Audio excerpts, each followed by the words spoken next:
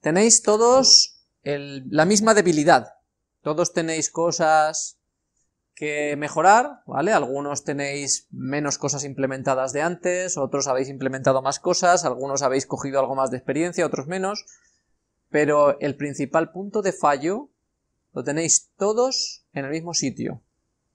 Tiene un nombre y un apellido. Este es vuestro principal punto de fallo en lo que estáis haciendo.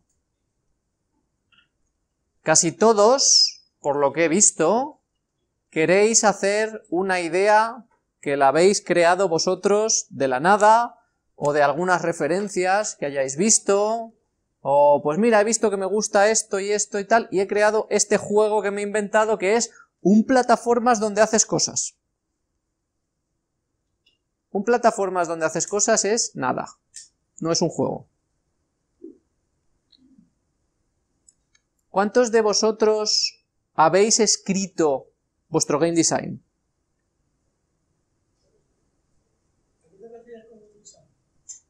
Al diseño de qué es tu juego, de qué va tu juego, cuáles son sus mecánicas, cuáles son los enemigos, qué propiedades tienen, cómo funcionan. Eso es el game design. ¿Cuántos lo habéis hecho por escrito?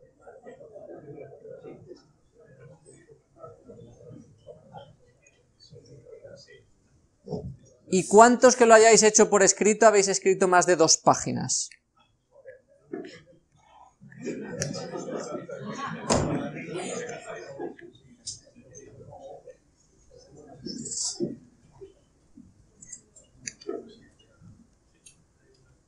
Esto puede parecer un chiste. no, a ver, si está todo escrito y tal, y ya se entiende. Pero no lo es.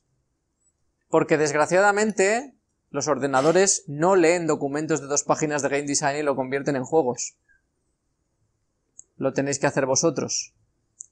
Y un ordenador no va a aceptar un cuando salte, si se le ocurre tal cosa, puede que haga no sé qué, o puede que haga no sé cuántos, y si te atacan a distancia, a lo mejor hará...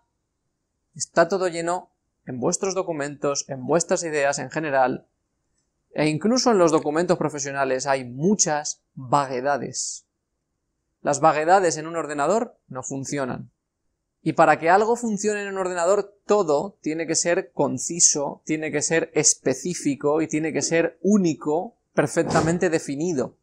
No pueden haber cosas indefinidas, no pueden haber situaciones no definidas, no pueden haber situaciones intermedias, ni decisiones de, pues que unas veces haga esto y otras lo otro, según le venga. No, esto no sucede en un ordenador.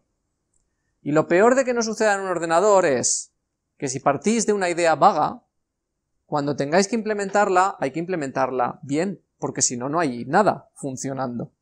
Y cuando hay que rellenar esas vaguedades, como no están definidas, se rellenan con lo que a uno se le ocurre en el momento en que las programe. ¿Sabéis a lo que lleva eso? El 60-70% del juego siendo amable van a ser vaguedades. Y el 60 o 70% de lo que implementéis os lo inventaréis en el momento de implementarlo. Tendréis que obligatoriamente dar una definición concisa a esas vaguedades. Sois varios trabajando. Cuando defináis esas vaguedades, incluso una misma persona que define un lunes una cosa y un viernes define otra, muchas veces no tiene coherencia.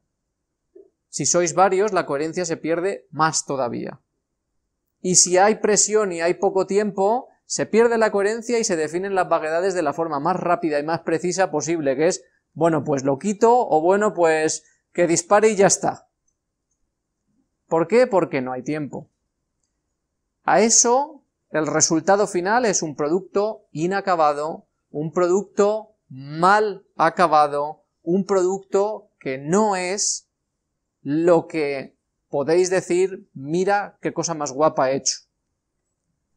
Esto es una de las cosas que os dije al principio. Para hacer un producto bien hacen falta iteraciones. Y hacen falta iteraciones por varios motivos. Uno de los motivos es este. El motivo principal de la idea es vaga, hace falta que deje de ser vaga para poder hacer algo concreto. Y muchas veces las ideas vagas solamente se consiguen concretar conforme uno va haciendo prototipos.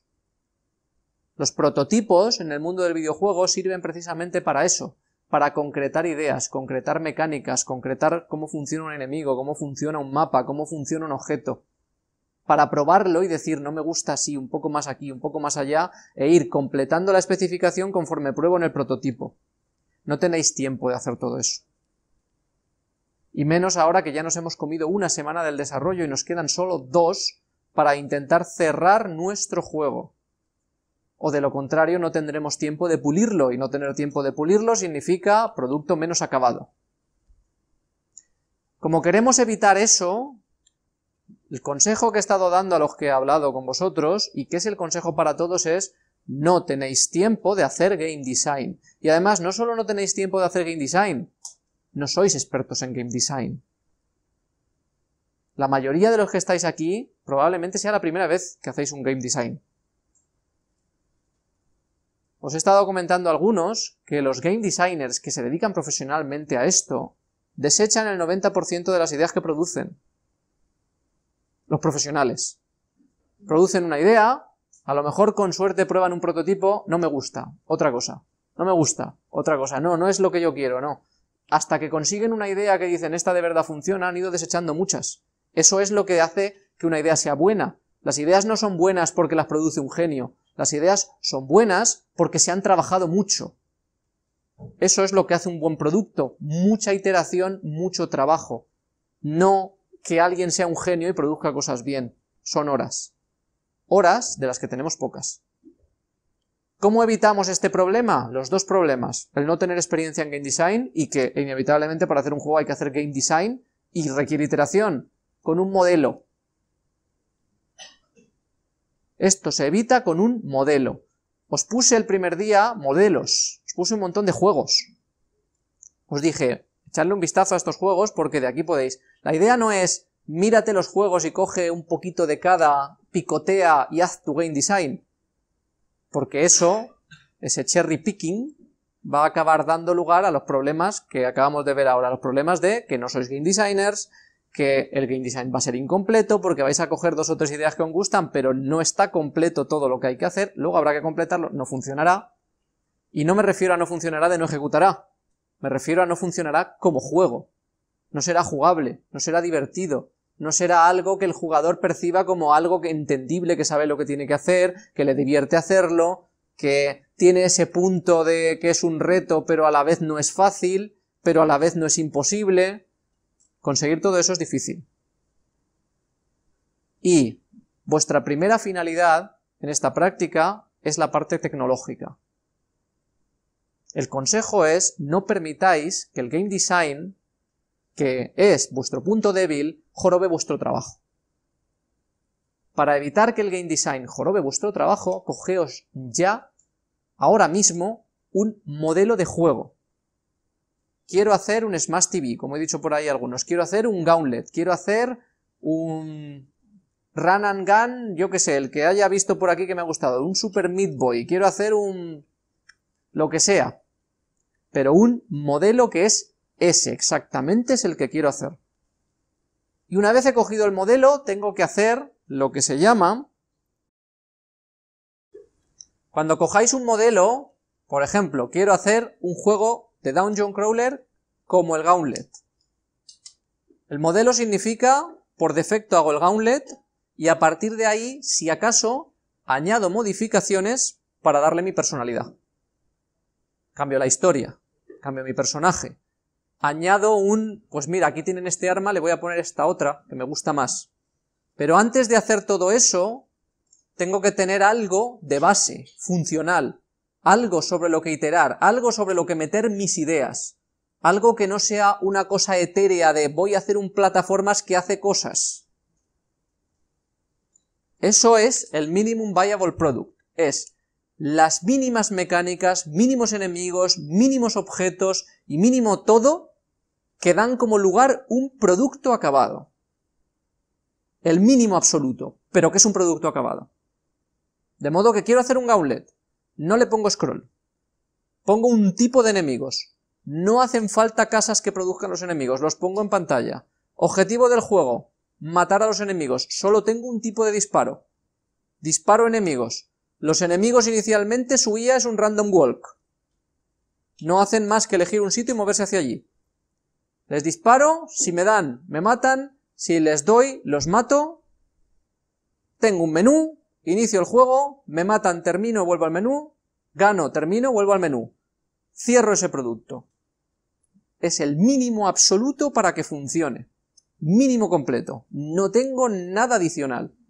Cuando eso funcione, cojo una lista de características. ¿Qué quiero que tenga mi juego? Y por orden de prioridad, ¿qué es más importante? ¿Que tenga más enemigos, más mapas, más armas, más objetos, casas de enemigos, tipos de enemigos, sprites bonitos, música? ¿Qué es lo más importante? Lista de características y las priorizo. Primero las más importantes. Y una vez tengo el MVP, cojo la primera característica, la implemento y cierro de nuevo el producto con esa nueva característica. Ojo, eso es súper importante. En un proceso iterativo como este, cada vez que se añade una característica, el resultado es otro producto acabado. No puede estar a medias. Siempre, cada cierre de iteración es un producto que si mañana no tuviera más tiempo, hago así y lo entrego. Acabado. Cerrado completamente. Y foco siempre en todo lo que hacéis en el producto. Foco en el producto. Tiene que ser un producto acabado. Tiene que dar buenas sensaciones. Tiene que molar. Y para eso, Game Design no es nuestra especialidad, lo cogemos hecho.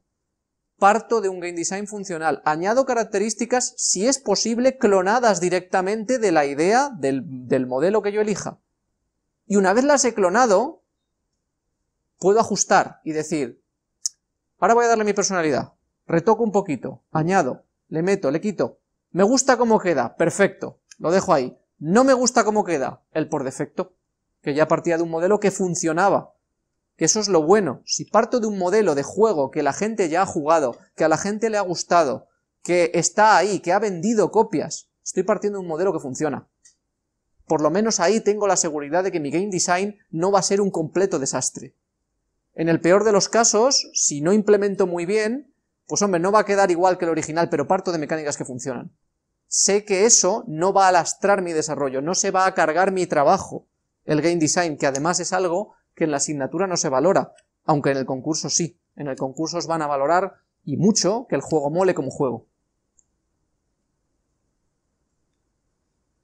Este es el consejo principal. Dedicad ahora un ratito a decir, este es mi modelo. Y todo lo que no esté especificado, todo lo que no, eso es lo que voy a hacer, lo que haga ese modelo. Definid un MVP, que os cojo el modelo y le quito todo lo que pueda hasta que quede un mínimo funcional, completamente operativo y que pueda presentar como producto. Lo implemento. Lista de características que quiero añadir por orden de prioridad. Una, otra, una, otra, una, otra y producto, producto, producto. Cada vez que termino un producto. Según nuestra planificación, dentro de dos semanas no deberíais a partir de ahí añadir ninguna característica nueva. Deberías, deberíais tener un producto que ya funciona y al que hay que añadirle gráficos o música o pulir el comportamiento de los enemigos, ajustar eh, los niveles, diseñar las pantallas, pero no crear un enemigo nuevo, ni añadir un nuevo menú, ni añadir una nueva opción, o un nuevo objeto, o un nuevo jefe final.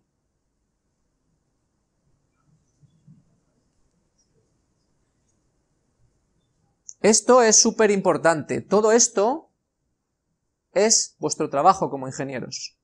El game design técnicamente no es vuestro trabajo como ingenieros. Os puede gustar o no, os puede atraer o no, os puede llamar la idea de que el juego sea creación vuestra. Eso es lógico. Pero ese no es vuestro core. Vuestro core como ingenieros es la parte técnica por un lado y la capacidad de convertir la parte técnica en un producto por otro y me consta que la que menos habéis practicado es la segunda. La capacidad de que convirtáis todo lo que sabéis hacer en un producto. Eso es lo que vale, eso es lo que define la diferencia entre un buen profesional y un profesional sin más. Un buen profesional crea productos. Saber mucho de tecnología para no poder aplicarla en ningún sitio no le vale a ninguna empresa. A las empresas lo que les vale es que seáis capaces de producir. O incluso si queréis hacer vuestra propia empresa, esto vale más aún. Porque si trabajáis para una empresa es importante que produzcáis, pero si trabajáis para vosotros mismos es imposible que lo hagáis sin producir. Como ingenieros, esta segunda parte es súper relevante, que seáis capaces de coger el tiempo que queda y que, ¿qué quedan? ¿Cinco semanas? Dentro de cinco semanas voy a dar el mejor producto que yo soy capaz de hacer en estas cinco semanas. No me voy a conformar con un producto, no, el mejor que soy capaz de hacer en estas cinco semanas. Eso es lo que os definirá como profesionales. Ese es vuestro trabajo. Y para eso, estos son los consejos. Seguidlos y poneos ya quiero ver buenos productos. Quiero que cuando termine esto y cuando entreguemos los juegos y los juegue gente de verdad, digan cómo mola este juego. Quiero que os sentáis orgullosos de lo que habéis hecho.